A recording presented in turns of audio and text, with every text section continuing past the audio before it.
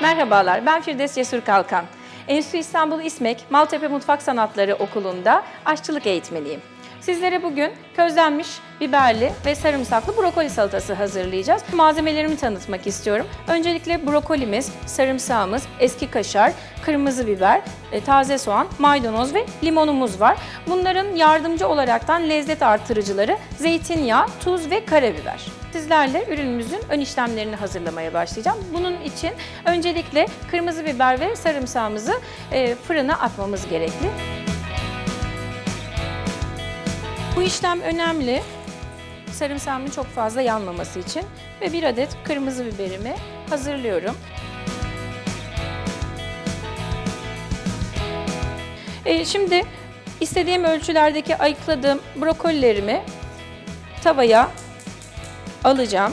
Ölçülü miktardaki zeytinyağımdan bir miktar koyduktan sonra ağır ve kısık ateşte kendi suyunda brokolilerimi sotelemeye başlayacağım. Maydanozlarımızı ve taze soğanlarımızı doğradıktan sonra bir tane servis kasesine bunları aktarıyorum.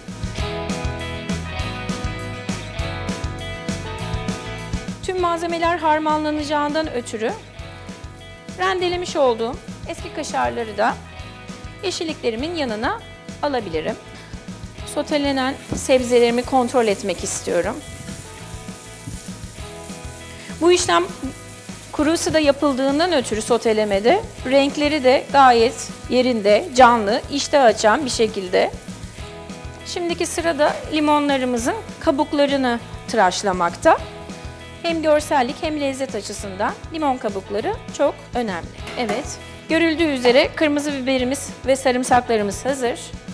Közlenmiş kırmızı biberi şimdi istediğim ölçülerde ben bugün tercih ettiğim burun ağız doğrama yani en küçük doğrama şekli.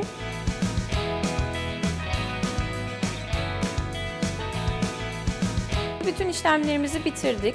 Bütün ürünlerimizi bir işleme tabi tutmuştuk ve hepsini tek bir tabakta buluşturmuştuk. Şimdi lezzetlendirme aşamasına geçiyoruz. Bunun için de e, biraz tuz ve biraz karabiber.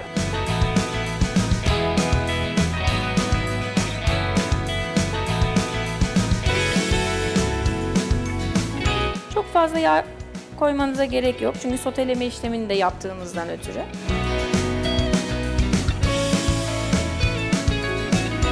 Üzerine yarım limon kadar limon suyu koyup servisimizi tamamlayacağız. Sizlere Ramazan sofralarınızda rahatlıkla servis edebileceğiniz bir lezzet hazırladık. Afiyet olsun.